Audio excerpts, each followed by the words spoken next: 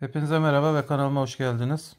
Yakın zamanda Yandex navigasyonun Yandex Plus ile nasıl Android Auto ve CarPlay üzerinde çalıştığını gösteren bir video çekmiştim. Bu telefon iPhone 14. Şimdi Android telefonum üzerinden ben Yandex Plus'ı aktive edip daha sonra bunu Android Auto ile kullanmıştım. Şimdi Android telefonum üzerinden aktive ettiğim bu Yandex Plus'ın ve Yandex navigasyonun CarPlay'de nasıl açıldığını göstereceğim. Yani ayrıyeten burada da aktive etmenize gerek yok.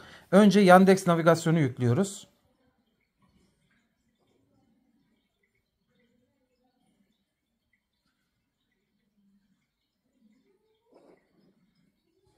Evet yükleniyor.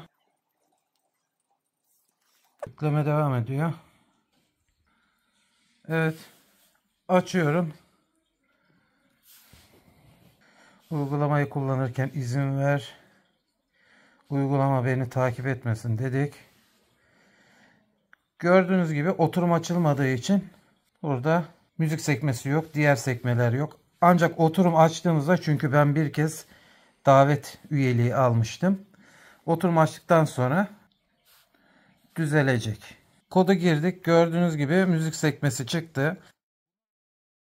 Android telefonum üzerinden yaptığım aktivasyonla yani Yandex Plus aktivasyonu ile ben Android Auto'da kullanabiliyordum bunu. Bu telefon iPhone 14 bir daha söylüyorum. Aynı Yandex Plus üyeliğimi şu anda iPhone telefonda da kullanabiliyorum. Dolayısıyla CarPlay'de de kullandım. Ne yaptım? Sadece Yandex oturum açma şifremi girdim. Yandex Plus'ı iPhone'da da kullanabilir hale geldim. Yani iPhone üzerinden Yandex Plus'ı açamayan kanal takipçim varsa yapacağı tek şey Android bir telefon bulup onun üzerinde Yandex Plus'ı aktive etmek. Daha sonra aynı şifreyi iPhone telefonunda girmek ve burada da gördüğünüz gibi artık bunda da şuradaki müzik sekmesinden de görebileceğiniz gibi yani iPhone'da da artık Yandex Plus'a ve CarPlay'de de Yandex navigasyona sahip olabilirsiniz bu yöntemle. İzlediğiniz için teşekkürler. Bir sonraki videoda görüşmek üzere.